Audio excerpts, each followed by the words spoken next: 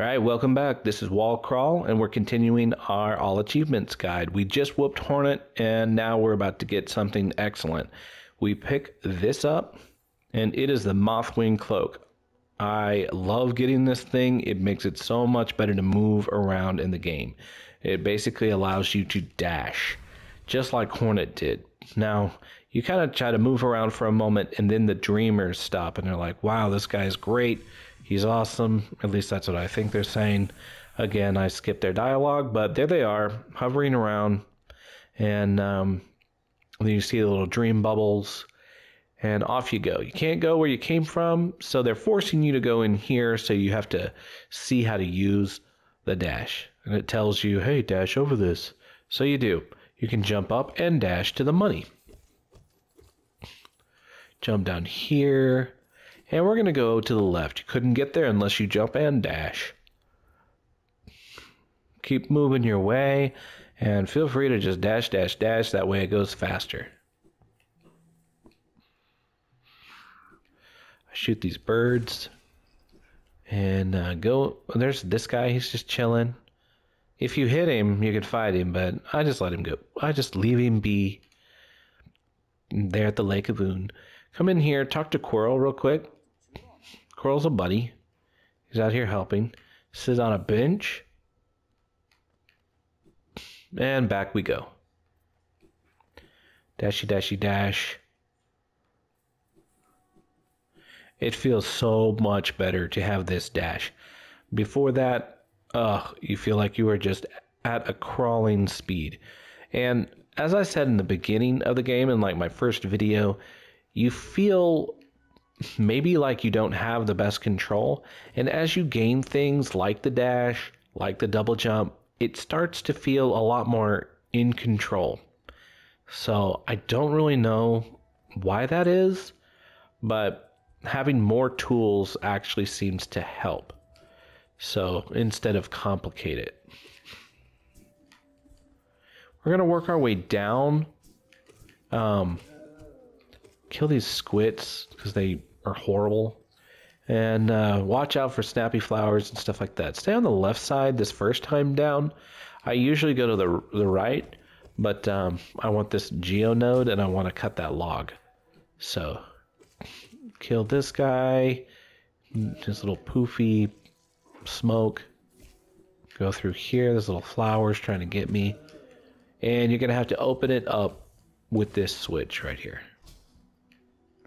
go over here, watch out for the flower, and then go ahead and get you this money.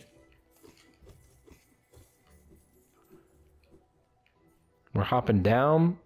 Also, something I just did that's not the best. Your little uh, insect guys who put your money in your pocket from gathering swarm. They're super helpful, but they cannot give you money if you leave the screen before they've given it to you. So you might need to wait sometimes before you leave the screen.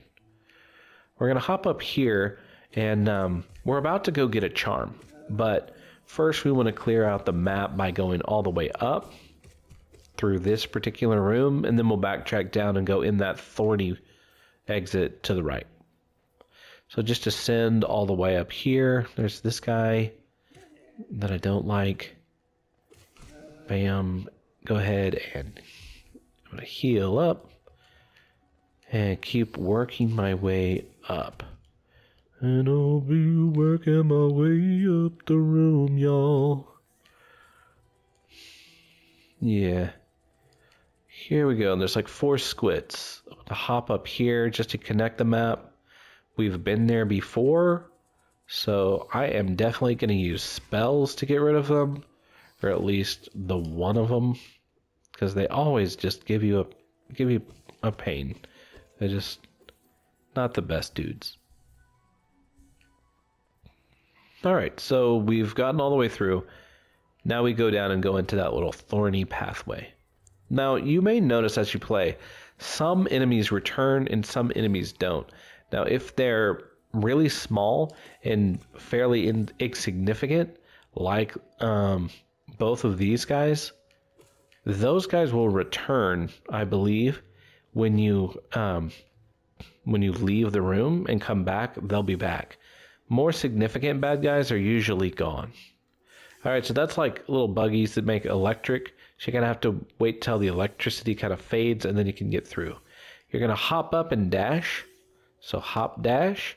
This next one you can't hop fully. You have to do kind of a light hop, so light hop dash. Go up here, and then you're gonna fall, and it's basically as soon as it does its electric pulse, that's when you'll fall, and you'll have to dash to the right to that safe spot. So it pulses, fall, dash. Again, right as it pulses, you'll jump and go. And it has to be a smaller jump. And you're through.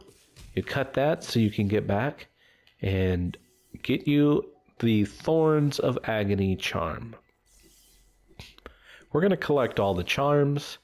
It's an achievement, but it, it unlocks things in the game, but you definitely don't need all the charms. You can arrange those charms however you like. I don't much care for Thorns of Agony. What it does is when you get hit, it sends out some little tendrils in about melee area, and it would hit someone who hit you. It kind of hit them back, but it basically forces you to do that, and so it takes away control of the character, and also when you're hit, you have um, invulnerability time, and a lot of times I can do more damage or um, react accordingly better uh, during that time than being forced to do what uh, Thorns of Agony does. So we're coming this way. Last time we didn't go downward, we're going to go downward this time. Come down here, and we're going to go and sit on this bench. Now we're about to go and fight the massive Moss Charger. So we're heading to the left. And uh, she's pretty close. These guys pop up and just, you have to hit their like little things back at them. If you get too close to them, they disappear and you can't fight them. So there's kind of a, a group of them. I do go ahead and kill these guys most every time I come through until my hunter's journal has got all of them because you don't see them in a lot of areas of the game. All right, we'll go in there later. Come across, dash, and here we are to the massive moss charger, which will be our next video.